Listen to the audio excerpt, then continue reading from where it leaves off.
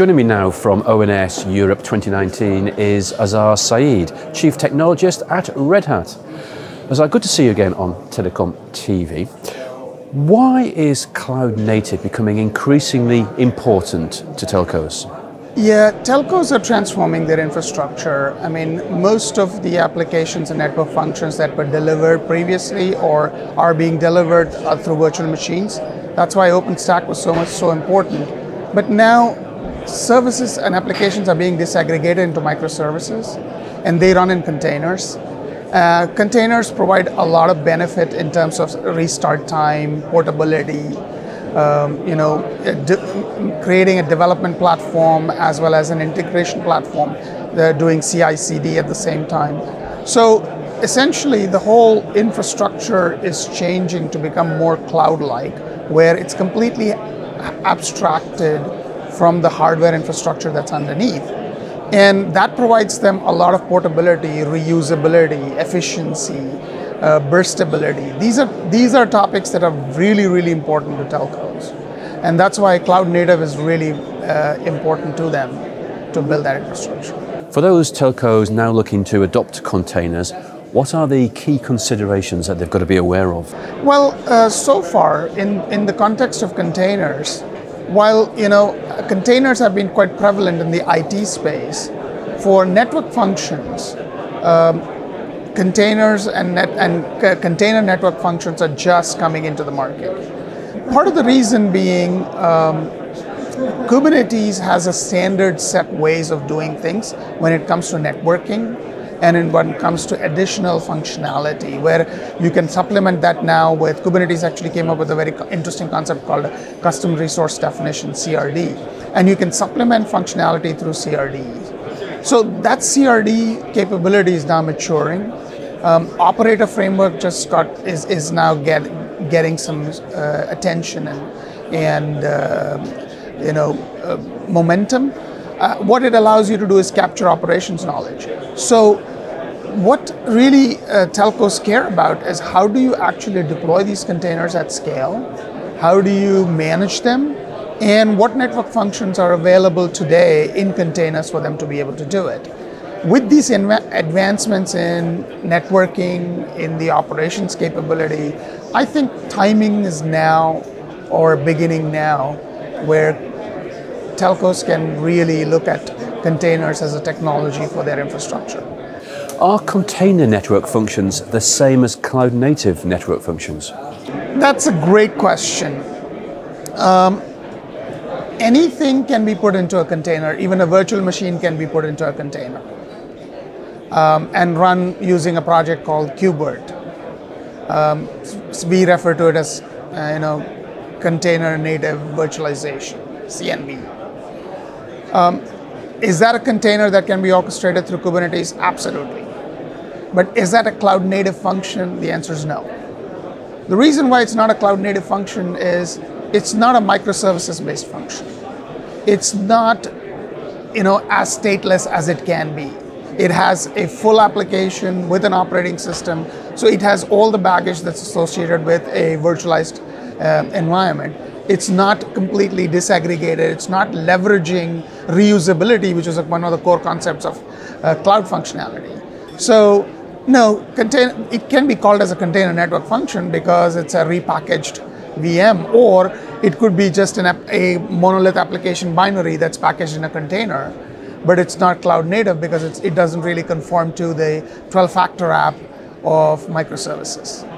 For those telcos looking to take the next steps in their transformation journey, how should they prepare for the move? Well, first you have to really work with your partner ecosystem in terms of what is available in containers and how good that uh, particular application or network function is when it, when it comes to conforming to a microservices architecture. So have that conversation with all of your partners. Build a, um, a service in the lab first, end to end, that allows you to experiment with various different components that are cloud native and some that are not. Because we know that it will be a hybrid environment when you start, but hopefully you have a clear migration path to a fully cloud native in the future. So think about networking, don't ignore that. Think about security. um, when it comes to containers. It's different when you operate virtual machines versus when you operate containers uh, from a security point of view, from a networking point of view, and from overall operations point of view. So you have to think about all these things. You talk regularly with the major service providers. What progress are you seeing? What we are seeing, I mean, there are some service providers who have made actually uh, good progress in this space. Um, they've begun to exactly experiment and build uh, different types of services by working with their partner ecosystem. I mean, I can give you at least two or three different examples where they call a regular cadence, you know, conversation, meeting, lab work to be able to test a service end to end, and then they have definitive plans of putting that in, in a production environment. There are some service providers who've already taken the leap. They say, oh, for this specific service, I don't need to create a whole end-to-end environment. I can containerize this. I can build a microservices model for this, and I can actually go deploy it, whether it is in private cloud or public cloud. So the interest is really high. Um, the movement is really uh, fast. And what I'm seeing more and more people asking me is, can I do my service X or service Y in a cloud native way today? We may not be able to do all of them, but we certainly can make a start.